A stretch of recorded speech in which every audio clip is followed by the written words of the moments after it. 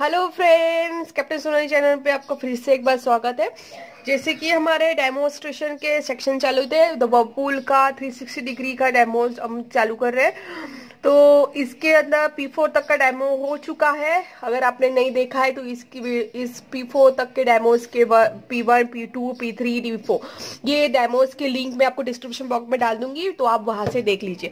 तो हम अभी P5 P5 प्रोग्राम का डेमो स्टार्ट करेंगे। तो उसके लिए हमें सिंपल अपने मशीन को ऑन कर दिया है और वाटर का पाइप हमने कनेक्ट कर दिया है। और अभी ये ऑन करना है।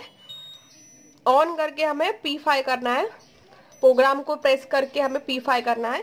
प्रोग्राम को प्रेस करके हमें पी फाइव करना है। तो इसके अंदर सेम इसके अंदर नॉर्मल वाटर नॉर्मल ड्राई होगा इसके अंदर और हॉट वाटर में कपड़े धुल लेंगे क्लीन होंगे तो इसके लिए हमें सेम हमें अभी इसको प्ले करना है।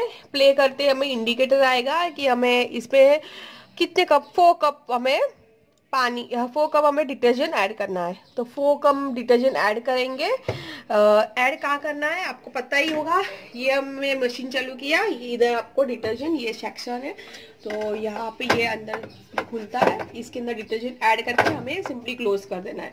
ये क्लोज करके हमें वापस से हमारा मशीन बंद करके, यहाँ पे देखिए टाइमिंग आएगा। वॉशिंग टाइमिंग है two two hours thirty minutes का वॉशिंग टाइमिंग है। ये वॉशिंग टाइम बाय डिफ़ॉल्ट है।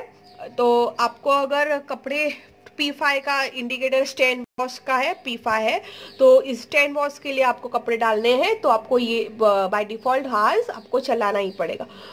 तो इसके अंदर क्योंकि एक्सप्रेस वॉश का बटन इसमें कुछ है नहीं एक्सप्रेस वॉश आपको क्लिक नहीं होगा इसके अंदर by default two point three hours के लिए टू पॉइंट थर्टी हार्स का आपको देना ही होगा वॉशिंग टाइमिंग तो आगे भी मेरे साथ बनी रहिए, आपको आगे भी मैं आगे की वीडियो डेमोस्ट्रेशन बताऊँगी तो आगे भी बने रहिएगा मेरे साथ। Till then bye bye